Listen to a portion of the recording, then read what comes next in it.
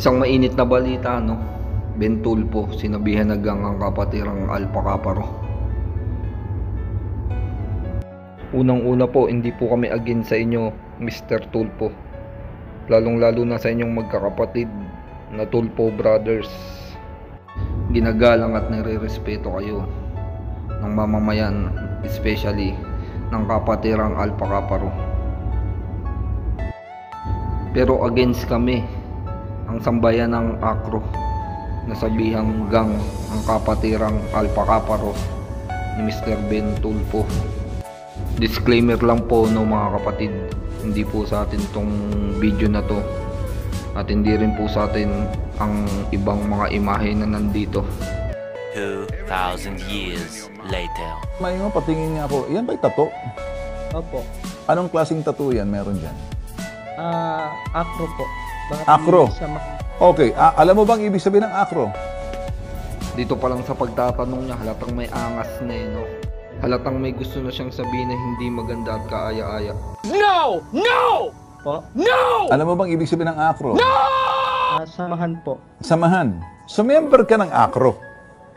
Opo. Si Brian, member din ng acro. Ay, hindi po. So, anong gang member si Brian? Wala po. Well, ano bang tawag mo sa acro? Fraternity o gang? Fraternity po. Anong specialty ng acro? Ikaw ba'y nag-aaral pa? Sana all may specialty. Hindi na po. Okay. Kalamihan ba ng mga member ng ACTO nag-aaral sa universidad, kolehiyo, or yung mga tambay lang? What a beautiful question, no? Kailangan mo pa ba tanungin yan, Mr. Ben Tulpo? Karamihan po nag-aaral po. Karamihan. Alam mo, nung araw pa na hindi ka pa pinapanganak, tatanda ko na to. Kabisado ko ng acro. Pag sinabi mong acro, para sa akin, hindi yan fraternity, gang yan eh.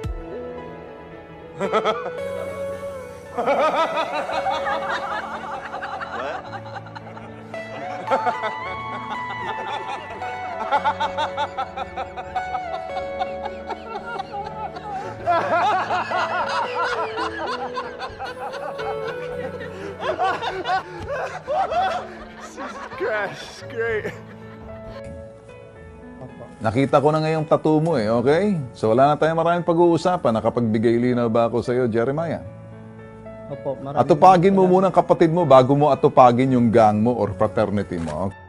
Naku po, tatakbo pa naman ng senador ang kapatid mong si Rapi Tulpo. Alam mo ba kung gaano karami ang kapatirang Alpha Kaparo? Halos tatlong milyon lang naman Mr. Ben Tulpo. Kasama ang active at inactive. 3 milyon. Okay? Kasi kung hindi, magkukulang, magkukulang ka, magtuturo ka ng sisi. Nakatulong na ba ako sa iyo sa paglilinaw?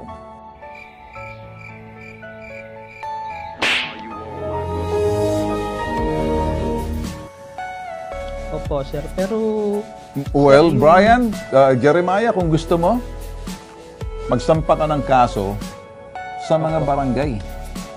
Kung Opo. gusto mo. Opo. Magsampa ka ng kasong kriminal kung may ebidensya ka. Huwag mong gagamitin yung mga minor de edad. Yung mga akro na yan, ginagamit yung mga minor de edad ng mga high school eh. Yung mga lalo-lalo mga dropout sa kolehiyo. Mr. Ben Tulpo, ito po ba yung sinasabi natin mga dropout sa kolehiyo? Nakakalungkot naman po isipin kung pagsalita mo na lang ang mga akro. Parang ganun-ganun na lang. Parang hinusgahan mo na kagad yung libro nang hindi mo pa binabasa, Mr. Ben. Ba't ganun? Pagtapos ka na ba? Hindi po. O bakit ka miyembro ng akro? Akro, High school lang po. High school. high school. O ngayon, ang kapatid mo, high school ba, member din ng akro? Hindi po. Hindi na kita gigit-gitin. Sa pagtatanong ko pa lang, parang may nakita na ako, ayaw ko pangit pakinggan. What's wrong with you, bro? What the heck? You tripping, bro? You tripping? Nakikiramay pa rin ako sa iyo. Tingnan mo ang kapatid mo dahil ipinagkatiwala sa iyo ng magulang mo nasa Davao at tatay nanay mo. Namatay si Brian sa pangangalaga mo. Wow, parang sinisisi mo pa sa kanya ang pagkamatay ng kapatid niya. Wag mo ito siri sa, ka, ka- sa mga barangay. Kung sino man naghahabol kay Brian, maaring katunggali ng akro. Maaring may kasalanan ka na po pwedeng ang kapatid mo magbabay dahil si Brian ngayon ang pagbubuntunan kung sino man yung kalaban ng akro dyan sa Santa Rosa. Mga bobo! Okay, ngayon, para sa akin, sige, hindi na kita gigit-gitin. Okay, sige na. O, ingatan mo na lang ang sarili mo sa susunod, ha? Ingat din sa mga kapatid mo. Ah, may natutulong ba sa iyong akro? No, God!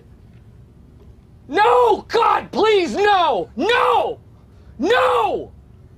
No! Ah, nagbigay naman po sila nung patay Hmm? po yung kapatid. Magbigay. Ano ba yung natutulong sa iyo ng akro? Ah, sa mga financial po, sir. Pinansyal. Saan ba kumukuha ng pinansyal ang mga akro? Member ng akro ay puro high school. Hinay-hinay tayo sa pagsasalita, Mr. Ben Tulpo. Tingnan mo naman yan. Ano ba yung sinatawag mong high school? Bigyan na din kita ng trivia, Mr. Ben. Alam mo po ba ang 16 pounding pounder ng Acro? Graduate lang naman sa isa sa mga pinaka mataas na paaralan sa buong Pilipinas. Ang UST, ang University of Santo Tomas, Mr. Ben Tulpo.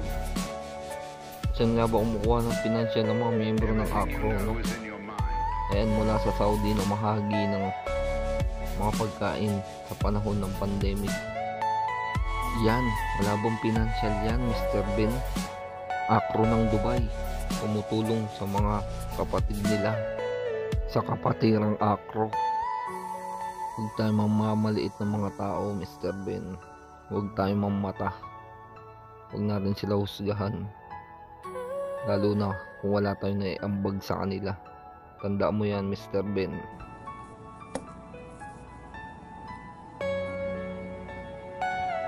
Hindi naman kay fraternity, na mga malalaking fraternity na may mga kilala dyan. Oops, issue. Sana all kilala. Kawawa sa'yo, Mr. Ben. Yan pa lang sapat na. Akro, pang high school lang yan eh.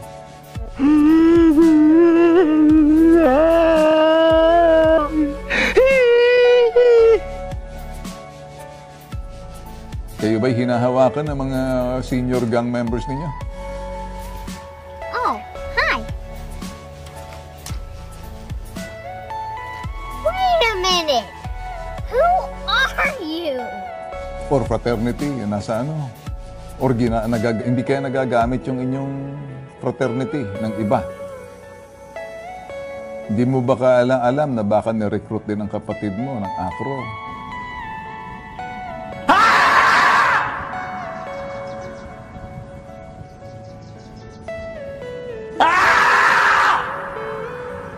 Or katunggali ng akro? Ilang taong ka, ilang taong ka nung pumasok ka sa akro? Bali 18 po. So, ilang taon si Brian? 17. 17. Di kaya nililigawan si Brian ng akro? Parang isinisisi mo pa sa kapatirang akro pagkawala ng kapatid niya. Huwag ganon, Mr. Ben. Sino bang kalaban ng akro dyan sa Santa Rosa? Ah, wala naman po dito. Wala. yung- Sinong katunggali dyan? Wala ba kayong TBS dyan? Wala po, wala naman. Wala kayong True Brown Style? Sa totoo lang, Mr. Ben, mas umani ng respeto ang mga kaibigan sa True Brown Style kaysa sa'yo. Mas nire-respeto ko sila ngayon kaysa sa'yo, Mr. Ben.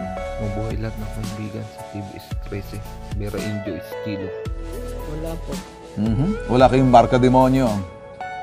Wala po. Wala naman po ditong ano sa amin sa barangay. Hindi, ibig ko sabihin sa barangay, sa lugar ninyo. Kasi sabi mo, member ka ng acro eh. Hindi po gang ang kapatirang Rho, Mr. Ben Tulpo. Actually, nakarehistro po ito bilang fraternity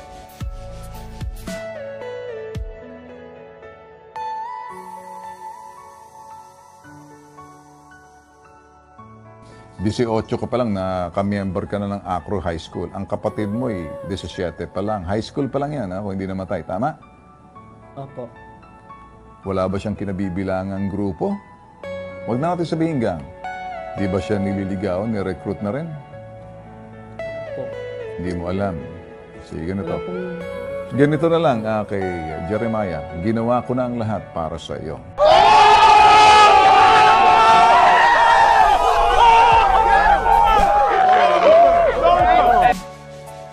Alam kong maraming makikisawsaw dito sa issue na. Mas mainam po, huwag na lang mangialam. Respeto niyo ang akro. Ire-respeto ko yan ito.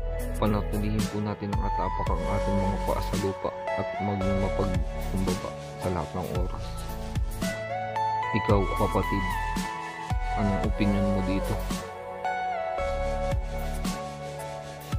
Humble and humane, we shall be.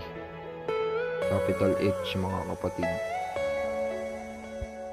Pero wag nating kakalimutan. Always defend the name of. Alpha Kaparo!